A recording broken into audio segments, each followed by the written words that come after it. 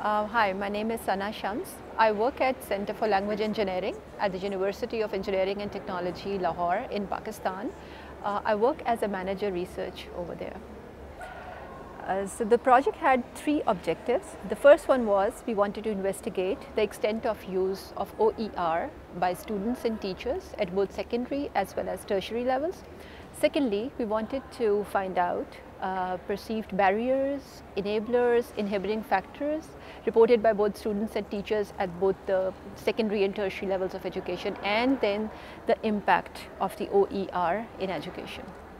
Um, we did a, a, questionnaire survey and followed by specific interviews of students and teachers.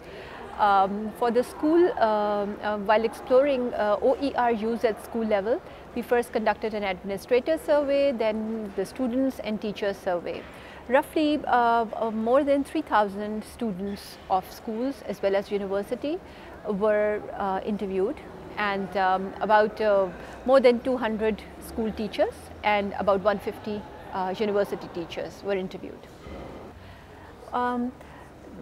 The very um, the primary finding of our research was that most of the time students as well as teachers they were not aware of what OER was and how it is contextualized, reused, remixed most of the people who even were using OER didn't know it was OER and they didn't know that they were producing OERs, which was actually being done. Uh, uh, uh, there were only few cases in which that was being done. So most of the people were not aware uh, of the o of the OERs at all.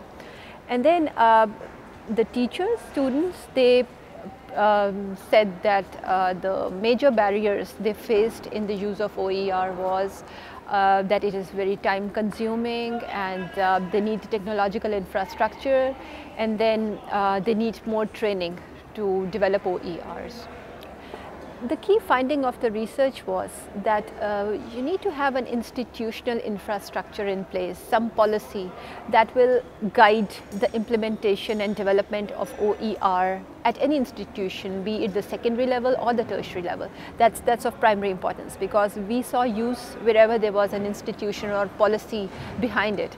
Uh, voluntary use and reuse was very limited in all the case study, uh, in all the uh, projects that we saw.